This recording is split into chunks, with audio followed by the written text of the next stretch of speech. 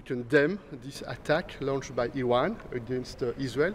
We have decided to put sanctions, to put in place sanctions against uh, Iran. This is a, a clear signal uh, that we want to, to send. And we also want to do everything to protect the civilians. Each civilian life matters.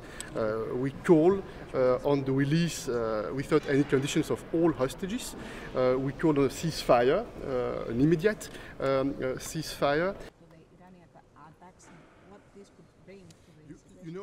We had a good debate and we feel it's very important to do everything to isolate uh, Iran, uh, to engage uh, with the countries in the region uh, so that um, we can uh, uh, try to support a peace process, to support peace talks. The idea is to, to target the companies that are needed for the drones, for, for, for the missiles. This is the global idea and we will have more information through the decision that will be put in place by the Council.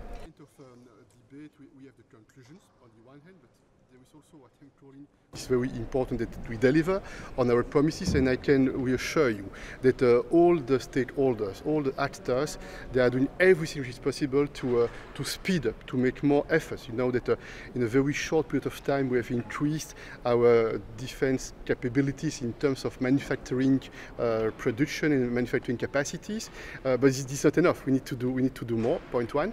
And we are also looking, if it is possible, uh, also to, to, to, to use more the stocks that are available, especially in the field of the air defense systems.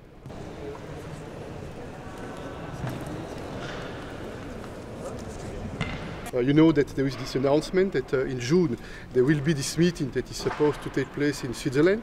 Uh, this is uh, something which is um, good and we want to engage uh, with uh, the international community, with all the countries across the world, especially the Global South, and we intend to coordinate from a political point of view so that the EU, together with other partners across the world, we can participate in that meeting that is supposed to take place in Switzerland. This is the, the first point on Ukraine.